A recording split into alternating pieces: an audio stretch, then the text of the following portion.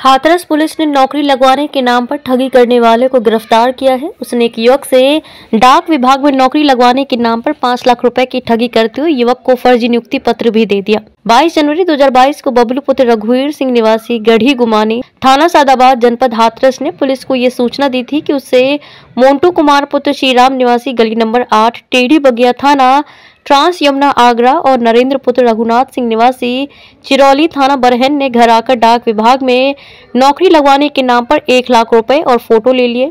इन दोनों ने शैक्षणिक प्रमाण पत्रों की मूल प्रतियों को ले लिया था, जिसके बाद 11 दिसंबर 2020 को चार लाख रुपए और एक नियुक्ति पत्र भी दे दिया। जब जानकारी की गई तो ये नियुक्ति पत्र फर्जी निकला। इस मामले में पुलिस ने मुकदमा दर्ज कर दिया और अब एक आरोपी मोन्टू कुमार, पुत्र श्रीराम निवासी गली नंबर आठ टेढ़ी बगिया थाना ट्रांस यमुना, जिला आगरा को गिरफ़्तार कर लिया। उस पर पहले से ही मुकदमा दर्ज है। पुलिस अधीक्षक हाथरस महोदय के निर्देशानुसार फरार व वांछित अपराधियों के खिलाफ चलाए जा रहे अभियान के क्रम में मुकदमा अपराध संख्या चौदह बटे बाईस में वांछित अभियुक्त मोन्टू को सादाबाद पुलिस द्वारा गिरफ़्तार किया गया, जो डाक विभाग में फर्जी नियुक्ति पत्र देकर लोगों से ठगी का काम करता था। गिरफ्तारी के संबंध में अग्रिम विधिक कार्रवाई की जा रही है।